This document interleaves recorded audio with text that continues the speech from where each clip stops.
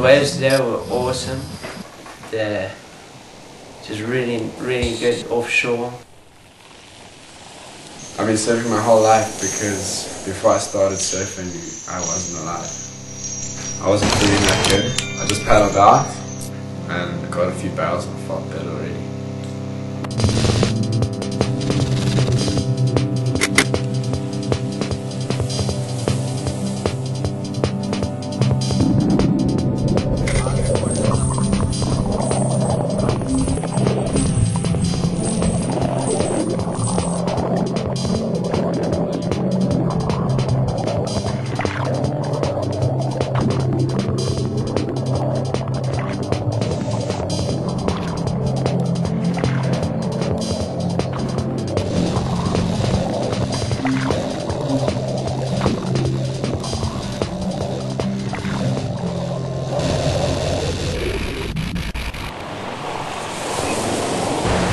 I don't know, wipe is just like you take it as it comes. It's just something you, you deal with. It's like having a big nose, you know. It's no point in not liking your nose. It comes with the territory, you know. You can't breathe. You're born with a big nose. You're born with a big nose. Nothing you can do about it. If you want to surf, you're going to wipe out. That's how it is. Very bad wipeouts are fun to watch, not fun to experience.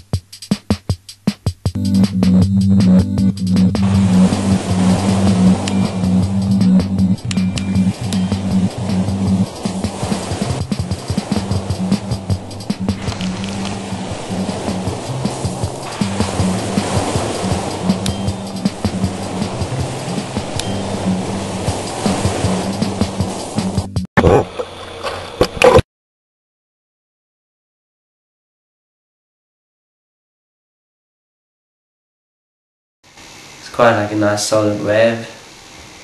Got it not in the right spot, but bit too much on the on the main peak.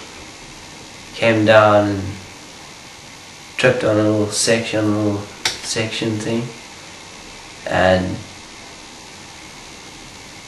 and I, I dived into the wave and the board went over and I and it, it just snapped somehow on the reef. I don't know what it was. Mm.